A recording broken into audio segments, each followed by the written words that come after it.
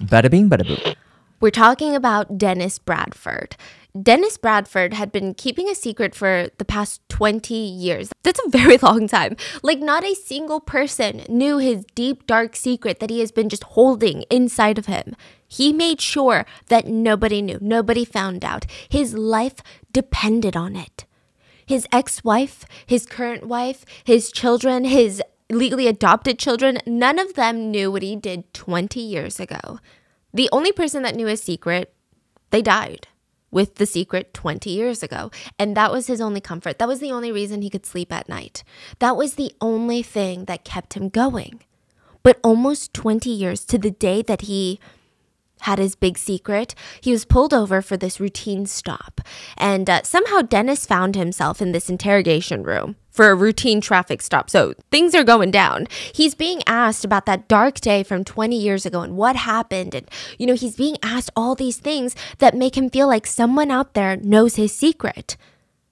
I mean, it doesn't make sense. Why would they suddenly ask him these questions about a day from 20 years ago?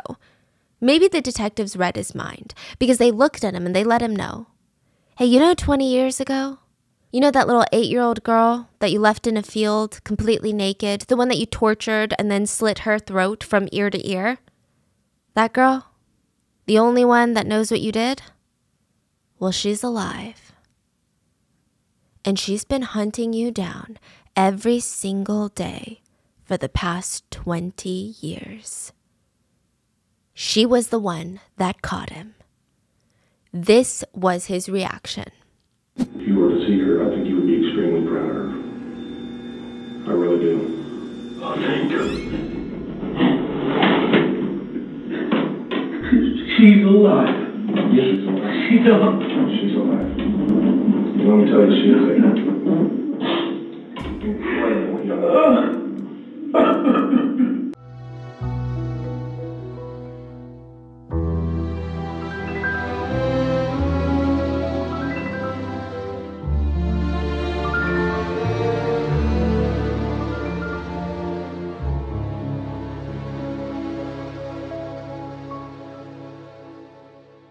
So let's talk about the incredible survivor story of Jennifer Schuett and Dennis Bradford's dark secrets because he would have more than just this one secret that he's hiding. Now, as always, full show notes are available at rottenmangopodcast.com. But with that being said, let's get into the story. There were a group of kids that were gathered to play at the field. It was like the best type of field to play in. Do you remember playing in fields? No? Yes? You've never played in a field before? Okay, School, school field. Oh, no, no, no. This one's a bit different. Okay. So there is like a, a calculation on what the best type of field is. And when you're a kid, I used to love fields with long grass. What? I don't know. It's so much better than an empty flat field because you feel like you can hide better and it's just more of an adventure. You feel like you're in the jungle even though Are you're you not. serious? You're in like the suburbs. But I used to love like thin, kind of almost ticklish as you're running through it. It feels like an adventure. So that's what these girls are doing. They're probably between the ages of six and 10 years old. So, you know, they're pretty young. And they would all huddle around in a little center of the field and they decide who's it. They're like, you're it this time. You're going to be the one chasing all of us. And then all of them would just make a run for it. They would just web out into these different directions and just carelessly run through the field. They would turn their head back recklessly every so often just to see, just to see if that person is close to catching them. So they're screaming, shouting, giggling. They're not being quiet, you know, but most importantly, they're being very, very carefree. They're kids. They're acting like kids. It's a beautiful thing.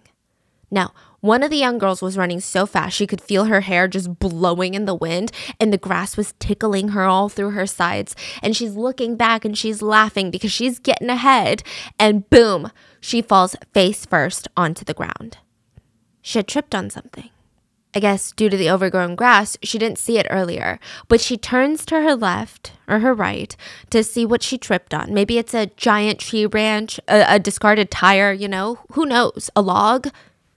She looks down and sees that she had tripped on another girl.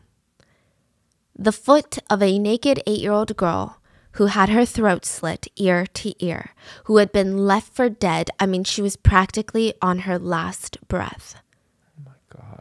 I mean, it it's pretty disturbing to think about while these kids were playing. Jennifer, a child who's not that far in age from them, was barely holding on to life in that same field. I mean, she had been there for over 14 hours, paralyzed, in shock, losing blood, actively dying. And Jennifer had tried to move, you know, for the past 14 hours, she tried to move. She tried to sit up or at least crane her neck to see where she was, but all she felt was stinging all over her body. She was frozen. She couldn't even roll over. It's like her body was still unconscious and her mind body connection had been obliterated. She's trying her best to figure out where she is, but all she could do was move her eyes back and forth and scan the area. Even though she tried to scream, nothing came out.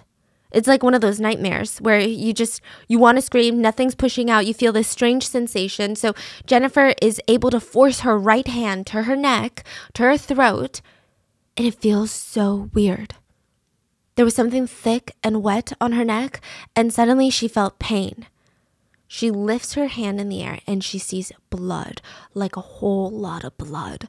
Jennifer's arm went cold. I mean, it collapsed. She went cold again. I mean, all over her body, there was just wounds, tiny wounds everywhere. You know where she had been left in the field?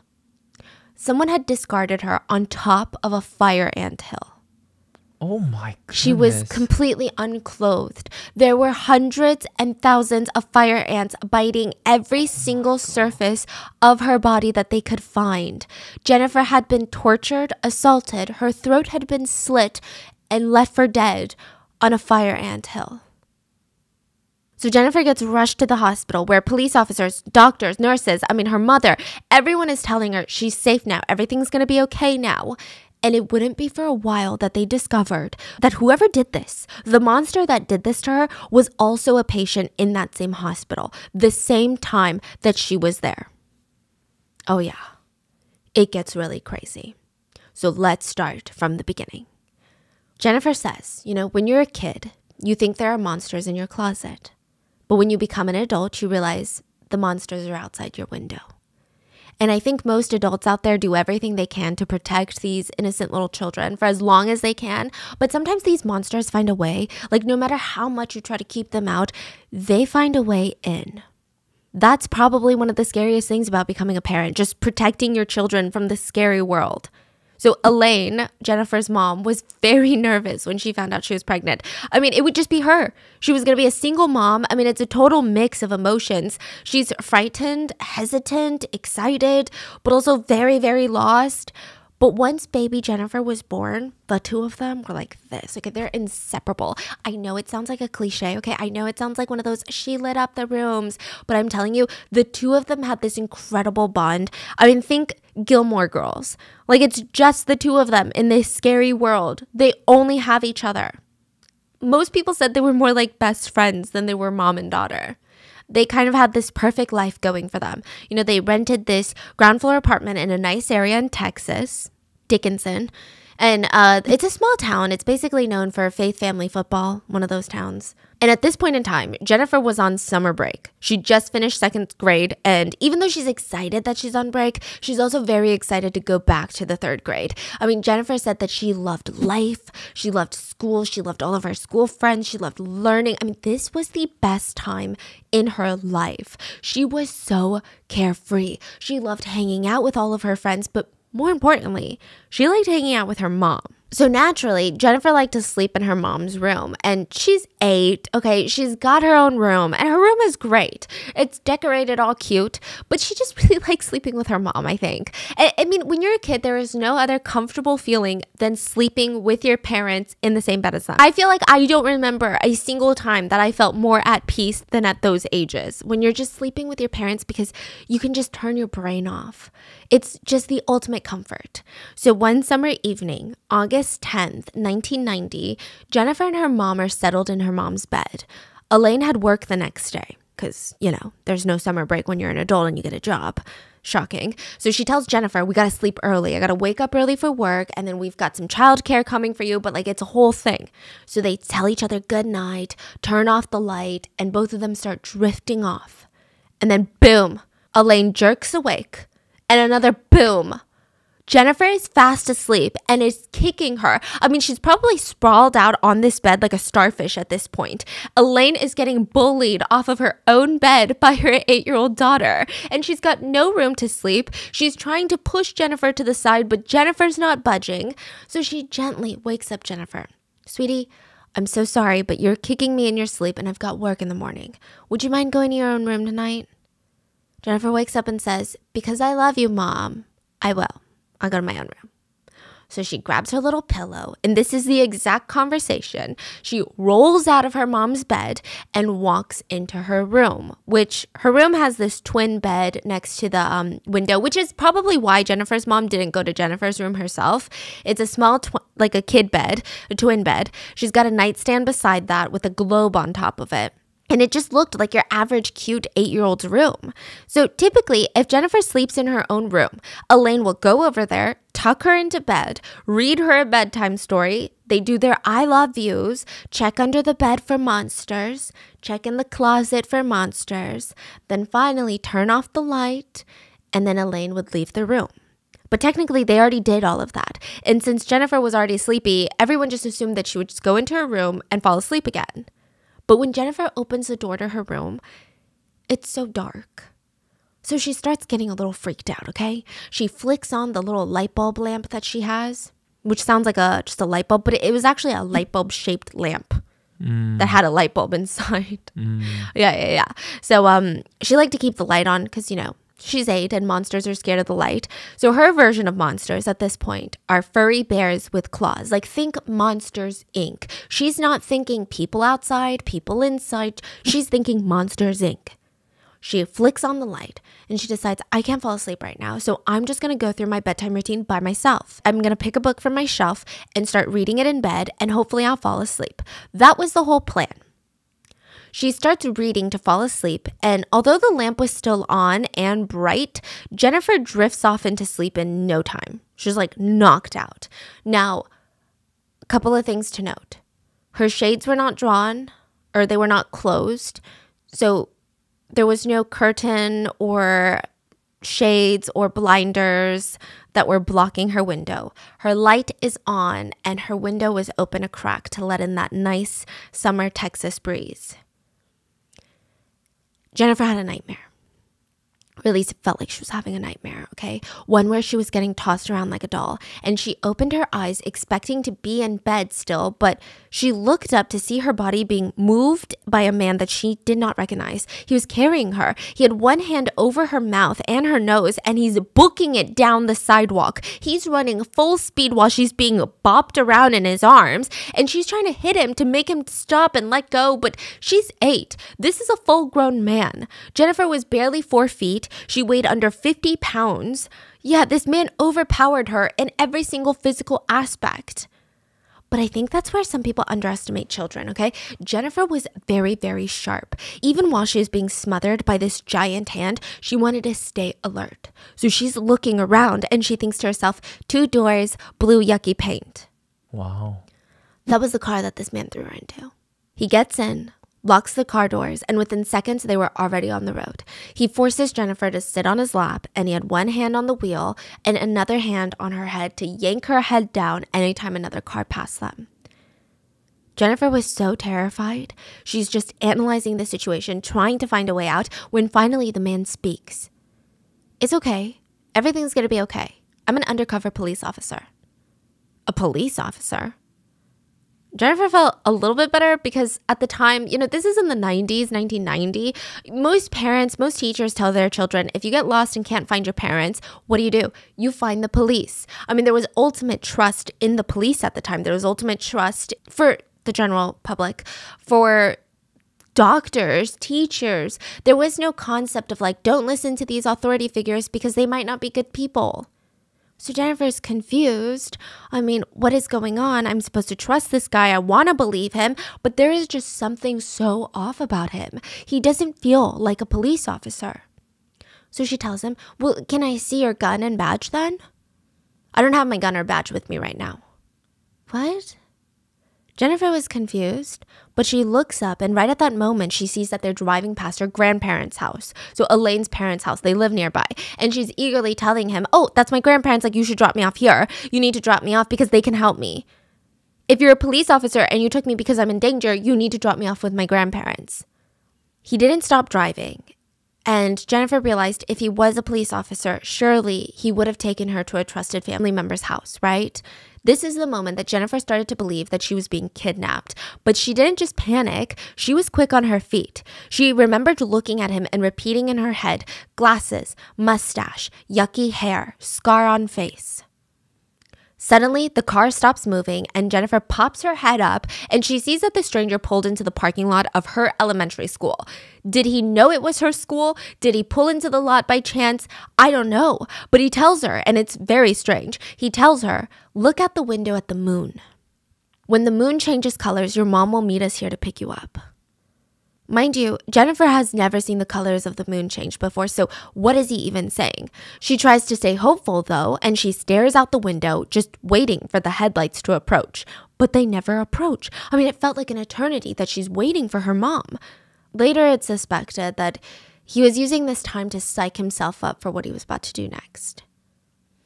He kept offering her to eat some candy, but Jennifer knew better. She's like, no way, absolutely not. A stranger giving me candy? Nope. And she starts trying to think of a way out because it was clear to her that there's no headlights coming. Her mom's not coming. This man's not a police officer. And even if he was, that would have been scarier. She realized she was in extreme, serious danger. He starts driving the car again and he goes down this gravel road while he tells her, Well, your mom's not coming. Jennifer's trying to self soothe because while this is happening, she has no idea what's going on. She doesn't even know what this man would want with an eight year old little girl. She tries not to panic and she makes it her mission to just remember everything. She remembers seeing cigarettes, Marlboros, the red and gold ones, empty beer cans, bottles. She remembers all of this. And then finally, the car turns off and the man pulls her out into this overgrown field with tall grass. He lunges for her throat and holds a knife up to it. Am I scaring you, little girl? Am I scaring you? She said he dropped the knife and started choking her over and over and over again. She was completely blacked out, and when she came to, he would choke her again and she would black out, and it felt like he was trying to kill her. It didn't even feel like he was just trying to strangle her, but he was full on trying to snap her neck. That's how she felt. She lost consciousness again, and during these times, we later find out that she was brutally assaulted. And the next thing that she felt was her body being dragged through the field by her ankles. She was barely able to stay awake at this point, let alone even fight back or even move or talk. She felt him drop her legs and walk off. He had already slit her throat at this point. His car door slammed and he drove off, just leaving her in the field for dead any time that she woke up and tried to figure out what the hell was going on, she would fade out into unconsciousness again. She said, I would come in and out of consciousness, and every time I would come to, I would just be in disbelief that I hadn't died yet. Now, before she knew it, the sun was rising and it's the next day already. Jennifer could feel all of these little stings and nips all over her little body, and she felt these things crawling and biting her, and she tries screaming for help. But that's when she discovers that big gaping wound, basically a hole in her neck. Her hand was covered in blood. Anytime she tried to hold her neck together, whether from shock or pain or from loss of blood, she would just drift back into darkness. This kept happening all day long. So that's what she was doing all night long, into the morning, then all day long until early evening rolls around. And this time she could hear passing cars on the road. She tried to turn her head to see if she could make out these cars, but all she saw was them driving past in the distance. She can't move, she can't scream. And at this point, she said she just felt exhausted, just tired. She felt like she had been fighting for so long it had been at least 14 hours since the man dragged her into the field, completely naked on top of a fire ant hill, beaten, bitten, and her neck slit. I mean, she just wanted rest. Jennifer said she felt this kind of peace in this moment, like a wave of peace. She wasn't afraid anymore. She didn't care about the cars that were driving past anymore. She didn't care to try and move or scream. She didn't even care that there was nearby voices in the field. She just felt very peaceful. At just eight years old, Jennifer was dying. And she closed her eyes one last time, thinking it would surely be the last time. I imagine she thought about her mom or her friends from school or I don't know. But speaking of her friends from school, it felt like she could hear them right now. Or at least she could hear people right now, like young little kids playing in the field. And those voices started coming closer and closer to Jennifer, and she could make out the sound of a young girl giggling and running through the field, laughing with her friends. These weren't Jennifer's friends, but they were all very close in age. That little girl ran, giggling, not a care in the world, until she tripped over Jennifer's limp foot. Wow, that is crazy. Jennifer remembers the girl's little voice turning into multiple voices that become louder and louder, and it felt like there was a whole commotion over her. She tried to wake up, and all she could see was a police officer, which was probably traumatizing. But this one was in uniform, and they told her, You've been found. You're going to be okay. Stay with us. Just please stay with us. Sharon McBride is a pediatric ICU nurse. She clocked in for her night shift and she starts reviewing her patient's charts, and her heart drops. She was assigned to a room with an eight year old girl, which is the same age as her own daughter, which is always hard for Sharon. But the alarming part about this was that there was a police escort stationed in front of this eight year old girl's room. That could only mean two things when police and pediatrics are involved it's either child abuse or juvenile offender. Sharon asks around and she gets filled in on what happened and decides it is her mission for however long it takes to make sure that Jennifer heals and gets out of this hospital stronger than before.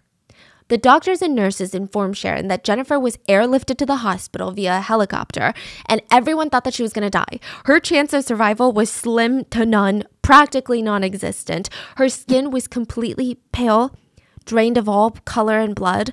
Her body was covered in ant bites. I mean, every single surface area of her body was bitten by fire ants. She had contusions that indicated that she had been beaten. And of course, doctors speculated SA because she was found unclothed in a field with intense scratches on her back. Jennifer was in and out of consciousness, and the only part of her body that she could control at the time were her eyes. She couldn't move, she couldn't speak, she just had these she has these piercing blue eyes that are beautiful and she's staring at the doctors. She's so, so scared. I mean, the whites of her eyes were bloodshot to the point of being a thick, opaque color. So think just red and blue in her eye. And this is so heart wrenching. But the doctors noticed that anytime a male doctor or a male nurse or any male staffer would come anywhere near, her eyes would widen in panic reaffirming their belief that something horrendous had happened before she was left for dead. Her mom wasn't allowed in the room because they're performing life saving treatments and they can't risk a parent intervening. So they need to focus all their attention on saving Jennifer. The hospital decides female doctors and nurses would be taking the lead when Jennifer is conscious and they would be reassuring her that she was safe and nobody was going to hurt her. She's rushed into the OR, and Jennifer was put to sleep once more. And they called this uh, ENT specialist. So, ENT, eyes, nose, throat, right? Or ears, nose, throat. And because Jennifer's trachea had been slashed in half. That's why she couldn't scream. I mean, it was a genuine miracle that this laceration on her neck missed all of the major blood vessels. If the knife had gone any deeper or had cut any wider, it would have resulted in practically instant death in that field because all the vital blood vessels in that neck, she would have bled out instantly. Wow. So, yeah, the doctors work to ensure her airway is intact and that the bleeding has stopped. But it's it's not a day to celebrate. Like it's not a good day. Every single medical professional in that OR knew that Jennifer would never be able to speak again. The trauma to her throat was so extensive, it slashed her voice box. Her vocal cords were slashed in half. There was just no way. So, being caught up to speed, Sharon was adamant that she was going to do whatever it takes to make sure that Jennifer feels safe. Nurse Sharon. She's not going to allow anyone to re traumatize this young girl. Sharon would slip into the room and watch Jennifer even when she slept. And she just could feel all these tears threatening to come out because all she can think about is her daughter at home. Like, who is doing this to someone this young? Sharon was a seasoned nurse, though. Whenever she was scared or emotional, she never let it show. She said, standing there looking at Jennifer, the fact that this little eight year old girl had suffered something like this horrendous trauma. My heart aches for her. What on earth was her life going to be like now? How was this going to affect the rest of her life? So, no matter what Jennifer was doing, Sharon was always in her room. Even if she was sleeping, even if she was eating, Sharon literally never left her side. Jennifer's mom was also allowed to be there now, and she was beside herself with grief and anger. She had woken up the next morning to get ready for work. She slowly opened Jennifer's door, expecting her to still be fast asleep. But instead, her bed was empty, Jennifer was nowhere to be seen, and the window was wide open. She called 911 and she had not stopped searching for Jennifer until she got the call that she was in the hospital. And now, just like Nurse Sharon, she's not going to leave Jennifer's side. Sharon quickly becomes one of the first few people that Jennifer trusted. So, Jennifer later said that she was very difficult to deal with in the hospital. She said, You know, I had a lot of male doctors. I was scared of men now. And side note, the man who assaulted her told her he was a police officer, and she said, I learned in school that police were good. The man that hurt me said he was a police officer, and he hurt me really, really bad. So, in my eyes, who's to say that these doctors can be trusted? Like, at that point, everyone was a suspect in my book. At one point, she even kicked one of the male doctors in the stomachs to get him away from her. And she was just in this constant state of fear and panic in the hospital, which is not good for your recovery. Now, just to clarify, in case I forgot to mention, Jennifer was able to move now after her operation. She was actually never paralyzed in a sense. It was just fear, pain, and trauma that prevented her from moving because her body went into ultimate survival mode. So she's like kicking these male doctors, which a lot of them were not offended. They just felt like it was good. It's improvement in her situation, it's her recovering. She's got strength, she's a fighter. Even just looking into the mirror, though, was traumatic for Jennifer. One of her uncles brought her this Tinkerbell makeup set as a gift while she was in the hospital, and that's how she saw herself for the first time.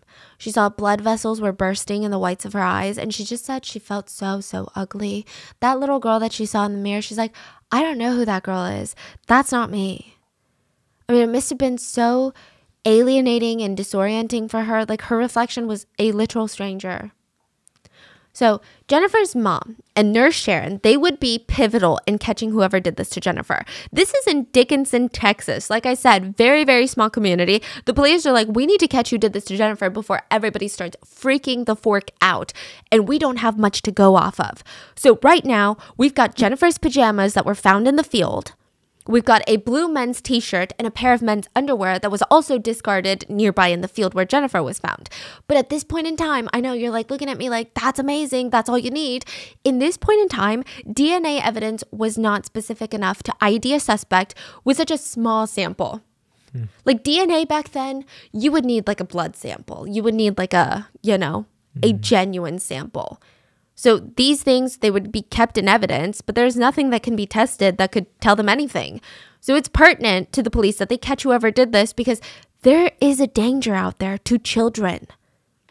The police also had no leads, no potential suspects, no witnesses. The only thing the police had was Jennifer, and there was a lot of concern about talking to Jennifer about what had happened to her. First of all, she's eight, and this could easily re traumatize her. Second of all, adults alone have a very hard time remembering details, especially after traumatic events. How could they expect an eight year old to remember? And third, she was very, very scared of people right now, especially men. And this is a small town in Texas. Majority of the police force were men. And fourth, she couldn't speak or make noise, so she could just blink or once or twice to say yes or no, and she could either write on a sketch pad. But Jennifer, yes, she's smarter than I would ever be, even at just eight years old, but she does have like the reading comprehension and the writing skills of a second grader, which is to be expected. So they come up with this system where the police would ask Jennifer's mom and nurse Sharon all these questions that they want Jennifer to answer. They would go in with a sketch pad and Jennifer would write down her answers. Her ability to recall traumatic memories and the fact that she was so observant is out of this world. I mean, these would all lead to be key circumstantial evidence later that would help with the arrest. Eight year old Jennifer Schuett not only survived her abduction, but she remembered almost every single detail about the man who climbed into her bedroom window and kidnapped her. And her notes would forever be known as Jennifer's notes. She wrote in detail about what she wore that night, that she was asleep when she was grabbed, that he told her to shut up, that he was white, he had glasses, you know, brown hair, totally green tattoos, black mustache, in his 30s maybe. She even drew a little sketch to show where the scars on his face were, and at the very last page she wrote, he said his name was Dennis. Wow. So during this process, Sharon, the nurse who was pivotal in helping Jennifer open up about these details, she was so impressed by Jennifer's memory, but also so devastated. She would say, Thank you, Jennifer. That's really good. You did good. And then she would excuse herself, rush out of the room, down the hallway, into a break room. And when she was finally alone, she would lose it. I mean, she would just break down. After Jennifer's notes were completed, the authorities even brought in a female forensic artist. So she's like a composite sketch artist who's going to talk to Jennifer and start drawing the attacker. This was Jennifer's fourth day at the hospital. She's heavily medicated in excruciating pain, reliving her trauma, but nevertheless, within an hour, they have their composite sketch of the suspect. It showed a man with dark hair, dark eyes, dark eyebrows, and a mustache and stubble all over his chin. He also had a scar on his face. They turn it into the police, and I think this is when Jennifer focuses all of her energy on just recovery now. Now, remember how the first responders said that there's no way she's going to survive? Well, she did. And remember how they said that she would never talk again? Mm-hmm. Well, she did. What? In the hospital, it all started with this tiny little noise, like a soft noise. And everyone just went quiet. Because they're like, is that even, is that coming from Jennifer? Slowly but surely, she started to talk. She had to relearn inflection and speech patterns, but all of it returned. I mean, her voice, her octaves, inflection, tone, all of it was restored. She was proof that the impossible was possible. Jennifer now jokes as an adult, and I haven't shut up since. okay. But even though she's defying all these odds, okay, it's still very scary for her to go back to the normal world because her attacker is still out there somewhere. What if he comes back to finish the job? What if he comes back to make sure that she will never be able to talk about it again? Nobody would have blamed Jennifer if she wanted to move, if she never wanted to leave the house again, if she wanted to switch schools, move states. But she started third grade at the same time all of her classmates did. Wow. Yeah. So she went straight back from summer break to Yeah. school. Mm-hmm. And they didn't move? I think they moved apartments, but not towns. Wow. So Jennifer got closer and closer to how her life was, but the police are getting further and further from catching the attacker. Days turned into weeks, and you know how it goes. It was a cold case. Jennifer's an adult. She's no longer that eight year old girl. Which, side note, I know I'm making it out to be like, oh, Jennifer is so strong, which she is. Oh my gosh, she's so strong. But she also went through a lot. Like, this was not an easy road where she's like, okay, guys, I'm just going to go back to school now and be fine. She remembers being a child, she would lock herself into the bathroom for hours and just stare at the quote, ugly long red scar on her neck. She felt like she did something to deserve this attack. She couldn't participate in PE classes anymore because of her airways. Um, so she would have to go to the nurse's office and she would sit there while the rest of her friends played. She was scared of parking lots, of windows, of going to sleep, of the dark. She had anxiety, panic attacks, PTSD. Most nights, she would just sit up for hours at night just trying to calm herself to sleep. This is what an eight year old is going through while the case goes cold. The only news that she would hear periodically was that her case was being reassigned to a different officer. This is very bureaucratic. It's like a new officer comes in and they're like, oh, well, you get this case, and nothing really happens. And it's a pretty shitty and scary feeling knowing that the person who did this is still out there. But Jennifer, she's trying to move on. She starts working at a public library during college years. She's got a really strong, she had a really strong maternal instinct. Her title, everyone nicknamed her the children's librarian. Kids just gravitated towards her. They loved her. And she just wanted to have kids one day. That was her dream, to be a mom. So she falls in love with this man, Jonathan Martinez. The two of them get married, and Jonathan was like the man of her dreams, the one that she wanted to have children with and start a family with. He was like the biggest cheerleader. He knew everything that she went through to be who she is now. She had to learn to be less afraid of the dark, to sleep alone again. She had to unlearn her deep rooted fear of men, like even doctors and police and men in her life that she could trust. She had to unlearn that fear. Everywhere she went, grocery store, park, anywhere, she would constantly scan all the men's faces looking for any familiarity. She said, It could have been our new neighbor, you know, or someone at the post office, someone at the grocery store. I never knew. Is, is he watching us? Is he going to come back and finish me off? I never knew. This is what she would have to go through every day for the rest of her life. But Jonathan was helping her through it. Even when she was diagnosed with um, hydrosalpinx, I think. At just 25 years old, he was right there with her. So if you're wondering what that is, it's a condition where your fallopian tubes are blocked and they're filled with fluid. She was told by her doctors that it was due to complications as a result of the SA when she was eight. Mm, and because they're blocked and filled with fluid, she may never be able to conceive any children. The doctors told her even with corrective surgery, your chances of becoming a mother naturally are slim to none. So, this devastation just starts hitting again. Like she's finally moving on from everything that's happened, and boom, her life goal, her life dream to have a family has been shattered. Devastation doesn't even begin to describe how Jennifer felt. The man who did this to her is walking free, and she is dealing with the consequences that he forced upon her. An infertility diagnosis alone is very, very traumatic for a lot of people. It's life altering emotional news. But the fact that Jennifer's infertility was directly caused by the fact that she was SA'd at eight years old, I can't even imagine the sheer amount of rage and anger I would have felt. Like, I don't even think I would be able to function from the hatred I would have for the world and for life. So while she's in the thick of these emotions from this diagnosis, she gets a phone call from a man named Tim Cromie. Tim Cromie was the new detective that was in charge of her case. It had been 18 years since her attack. 18 years. I mean, she's all grown up now, and here was another officer taking a look at her case. There had been so many before him that took a look at her case, and what? Nothing happened. I mean, it was more painful to even convince herself that this one, this guy, this one's gonna be different. But there was something about Detective Cromie. He called Jennifer personally to let her know that he was taking over and he wanted to meet with her in person.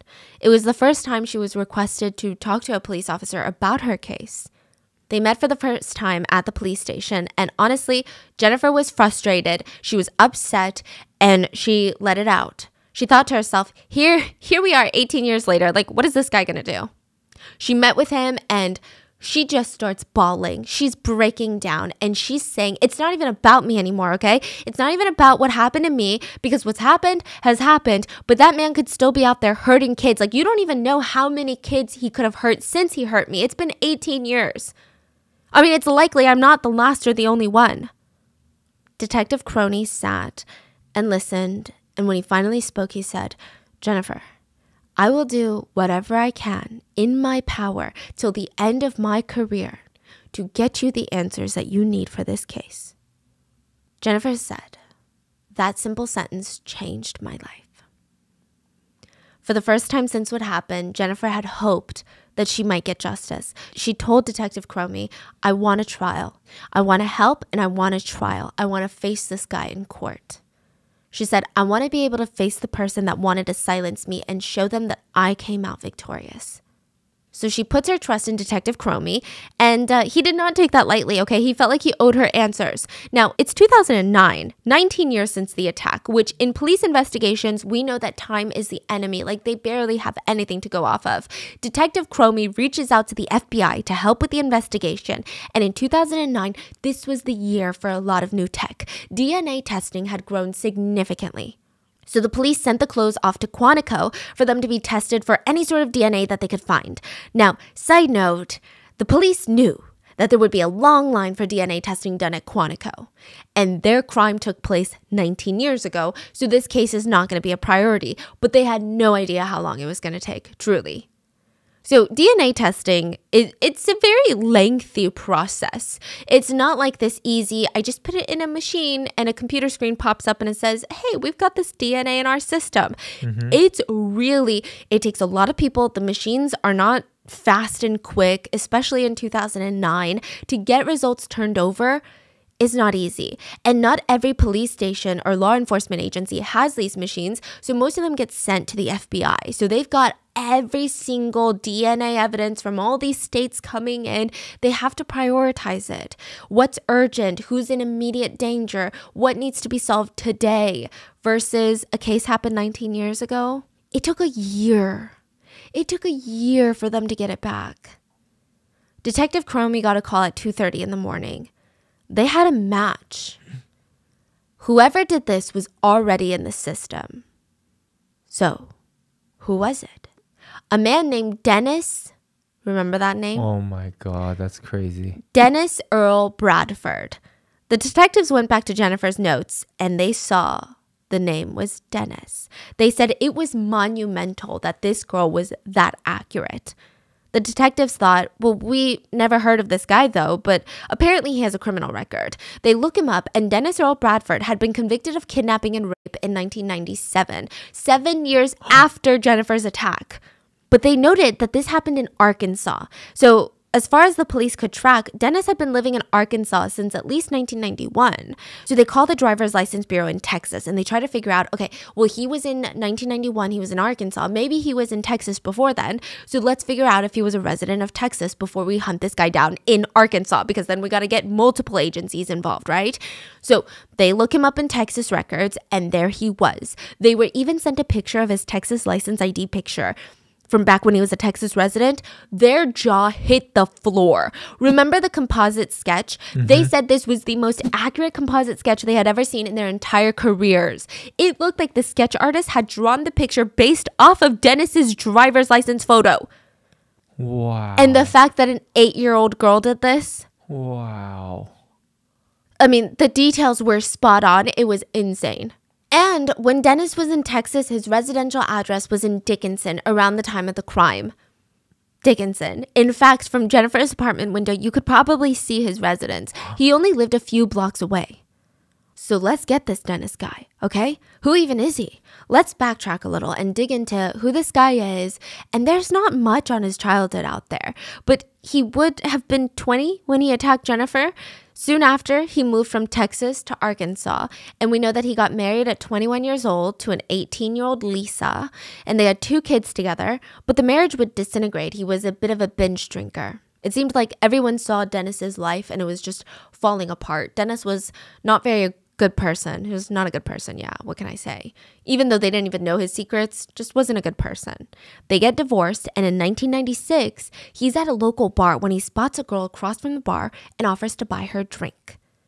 She politely declines, but he keeps asking for all these things. Ah, just one drink. Ah, just play around a pool with me. Ah, let's do this, let's do that. She finally just agrees to get him off of her back, and he proceeds to buy her drink after drink after drink throughout their whole pool game, their game of pool. And once they were finished, he offers her a ride home. She accepts it, but in his car, he's like, Can we take the long way, the scenic route? There's a couple of songs that I want you to listen to, and I want to show you some property nearby. She didn't really want to, but she couldn't control him. He just starts driving down the back road. He stops the car and without even hesitating, he begins choking and punching the woman. She starts losing consciousness. He drags her out of the car. When she woke up, she was naked. Her clothes were scattered in a field.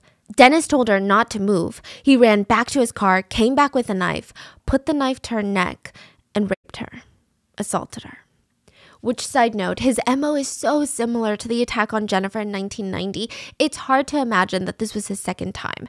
I suspect that there were other victims, and the fact that this victim said that he never hesitated, whereas with Jennifer it seemed like he was hesitating, is that him getting more and more comfortable with his crimes the more he commits them? Fortunately, he did not slit this woman's throat. She was able to flee and alert the police.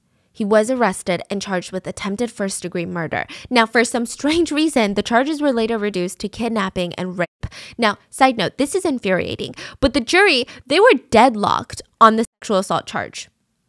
How do you get deadlocked on that? How are you deadlocked when this man put his knife to her throat and then assaulted her? Like, how do you convict him of kidnapping, but then you're somehow confused? You're like, well, we don't know if he's that bad. I mean, what is there to be confused about? He was sentenced to 12 years and ordered to provide a DNA sample for the database. Arkansas correction records showed that he served less than three years in prison before he was released. He was paroled February of 2000. He was arrested the next year for drinking and driving. And in 2004, Dennis remarried a woman named Elizabeth. She had three children before marrying Dennis, and he legally adopted them, legally becoming their stepfather. Which scares me because, I mean, think about it. He's a father and a stepfather. Creepy.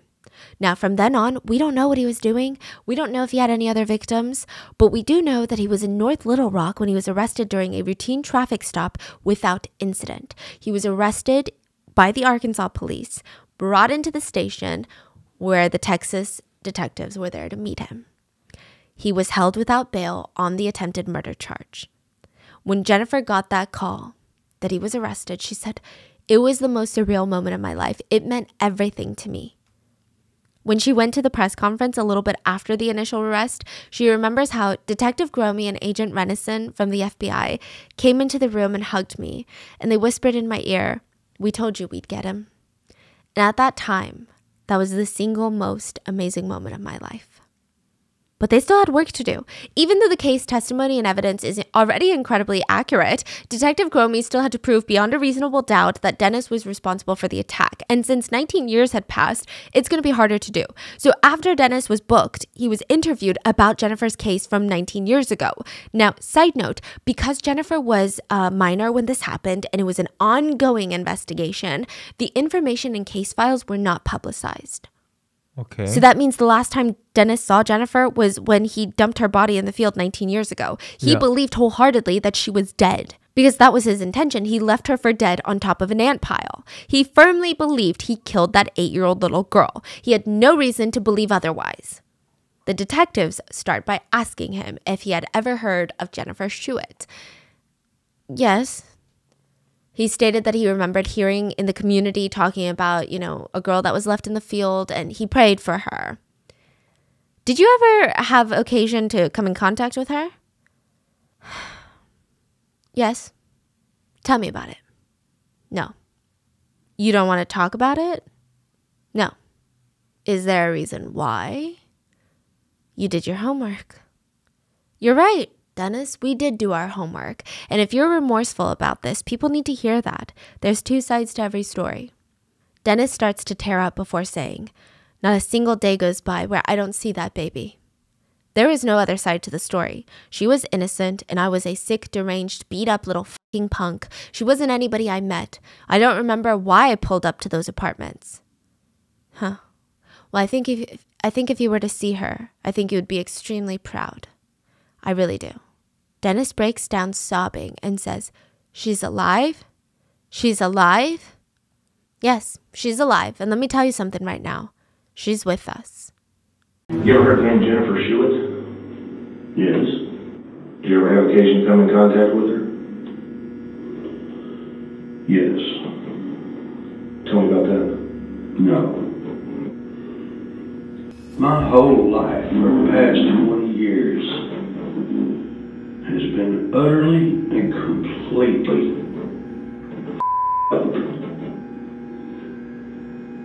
because of my mistake. If you were to see her, I think you would be extremely proud of her.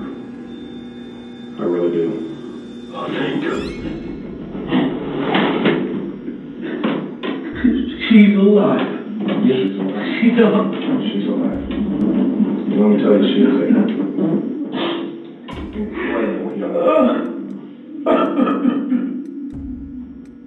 Well, you have no idea how hard I have prayed for that.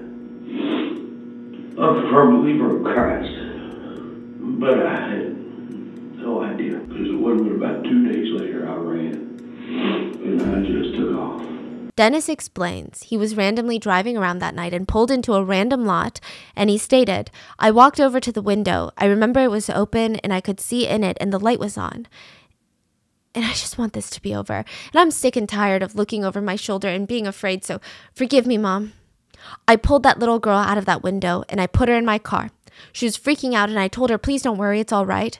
I told that little girl that I was a police officer, that everything was going to be okay. And I pulled off into this little road and that little girl, she was so scared. I just lost it. I was like a savaged animal. I couldn't force myself to say it. And I can't force myself to say it right now. This has been haunting you your whole life, Dennis. Let's hear it. I took that little girl out there and I raped her and I cut her throat and I don't know why and I've never known why. Many, many times I've just wanted to end it, but I never had the guts. He told the police officer that he used a shotgun to try and end his own life shortly after what he did to Jennifer, but he decided not to. He did, however, blow a hole through his parents' roof and he was brought into the hospital after his attempt. The same hospital that Jennifer was in, the same hospital Jennifer was recovering in. Jennifer had every right to be afraid of this guy because he was in the same hospital. But ultimately, Dennis confirms all the details that she remembered and he confesses to it all. And Jennifer was so relieved. At the press conference, she declared, I'm not a victim, I'm victorious. Jennifer had waited 19 years for this, and now she focused all of her attention on prepping for this trial. Dennis admits to the crime. He matched the description, he matched the DNA, and they were planning to go for a life sentence. She had routinely went to the field that she had been abandoned in, not constantly, but several times. She would visit so that she said, I just really wanted to be able to remember all the details of the attack, so that one day, if I ever could, I could go to court and tell my story the way it was. Wow. Now, he was supposed to appear in front of the judge on August 10th. Jennifer had picked the date, exactly 20 years of the day of the attack. She said it was a full circle moment. She stayed up countless nights prepping for her statement. She said, writing it, erasing it, writing it, erasing it, just trying to perfect it. She had 19 years of things she wanted to say, but she wouldn't be able to do it or at least not the way she imagined. She gets a call from Detective Cromie, and her heart dropped. She already knew. Dennis had hanged himself in his jail cell after confessing. He made a noose from his bedding, and there was no signs of foul play. It was definitely suicide. So he died, 40 years old, May 10th, 2010. It's believed that Dennis was a serial predator to children and adults. He knew that his life was over the minute he was caught. More of his crimes would likely surface. He knew the things that other inmates would do to him if he spent the rest of his life in prison. So instead of taking these consequences, facing the consequences, he took the quote, easy way out. Detective Cromie remembers this phone call. He said he'll never forget this phone call. He said, There was just crying and screaming on the other end of the phone. She didn't want to believe it. The only thing I could do was just tell her I was sorry. Jennifer said, The only thing I can describe is devastation. I felt like everything I had worked so hard for was just ripped away from me in an instant. And now that Dennis was deceased, his case was immediately dropped, and Jennifer felt like she could go to his grave. She had to. Exactly 20 years later, instead of going to court, Jennifer and her husband went to Dennis's grave, August 10th of 2010, and she read her impact statement that she had prepared for court, and she read it directly to Dennis while standing over his dead body. She read, Dennis Bradford, I waited 19 years, 2 months, and 3 days to find out your last name and for you to be caught. You chose the wrong little 45 pound 8 year old girl to try and murder because for 19 years, I've thought about you every single day. And I've helped searching for you. I didn't know who you were or where you were, but in my head, I knew you were out there alive, either in prison or living a lie. And now I know listening to my heart all these years and never giving up on finding you, I was right. All this time, you've been living a lie. You thought you killed me, you thought you won that sick little game that you had started, but again, you were wrong. You left me there in a fire ant pile like I was nothing, like I was an old rag doll that you discarded in a field as trash after having your fun torturing her. Over 14 hours I laid there in that field bleeding to death, knowing that one day I'd face you. And to know that you'd never hurt another person, that is what has kept me going. And today I sit in front of you as a 28 year old woman. And I would like you to know that I'm not a victim because of what happened 20 years ago. I've waited for this day for 20 years of my life. And I hope you now feel as weak as you made me feel all those years ago as a child. Dennis Bradford, I'm not your victim. I'm victorious. And then the most surreal thing happened. Jennifer turned to her husband and asked, Do you think he heard me? Ow! She looked down, and right then and there, a single fire ant bit her ankle. And she took it as a sign from God that he had heard her loud and clear. And to this day, Jennifer, Detective Cromie, and Special Agent Renison, as well as Nurse Sharon, they all keep in contact. Jennifer said, They mean a lot to me, and to know that they're still there, they're still supporting me, they're not leaving me anytime soon, just like I'm not leaving them anytime soon. But the story doesn't even end there. Remember how Jennifer was diagnosed with a condition that made it nearly impossible for her to have her own children? A mm-hmm. doctor heard about her story and heard of her diagnosis, offered Jennifer and Jonathan free IVF. IVF is not guaranteed to work, side note, but just to try, right? The couple have since then welcomed two beautiful children into their family, a daughter and a son, which is remarkable because medical professionals doubted that she would survive. It would take a miracle, they said. Medical professionals doubted that she would ever talk again. It would take a miracle, they said. Medical professionals doubted that she could ever conceive her own children. It would take a miracle, they said. And she did it all. And I'm gonna cry. Oh my god. yeah, she really is a woman that proved the impossible is possible. And nowadays, she spends a lot of her time helping other survivors of SA. She travels to connect with people and to educate people on the pure devastation of these sort of violent crimes. And that is the story of Jennifer Schuett. What are your thoughts on this? I mean, it's devastating. It's so sad, but the fact that she's so strong and we can all smile at the end is something, right? but I hope you guys enjoyed today's episode, and I will see you guys on Wednesday for the main episode. Bye. Stay safe.